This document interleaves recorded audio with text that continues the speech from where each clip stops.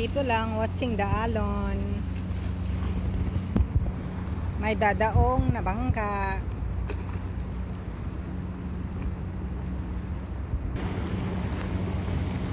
Bye-bye.